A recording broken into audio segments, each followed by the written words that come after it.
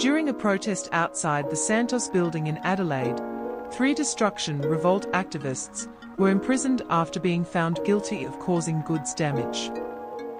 Lock points two people were found guilty of causing property damage. During a protest outside the Santos building two people were found guilty of causing goods damage during a protest outside the Santos building.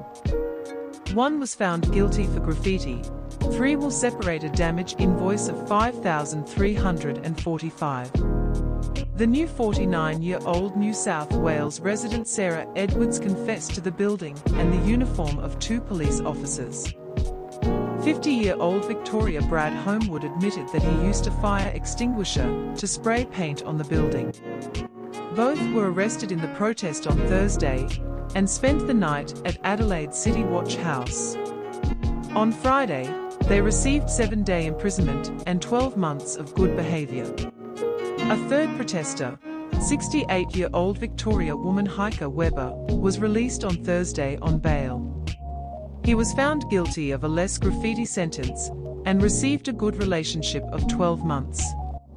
All three of them were ordered to divide the damage bill of 5,345 into the Santos building and each paid 1,781. Edwards was also ordered pay 5, 346, 28 to the SA Police compensate for the damages caused by civil servants' uniforms.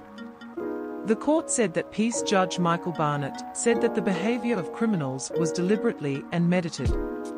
You have the right to protest, but it does not harm the property, he said. The material damage penalty in southern Australia is a 10-year prison sentence. Homewood said he was not regretted for his crime. We are in climate and ecological emergency, he said. I think it was proportional to what we did. Edwards will continue to support everyone who takes action to protect this planet, he said.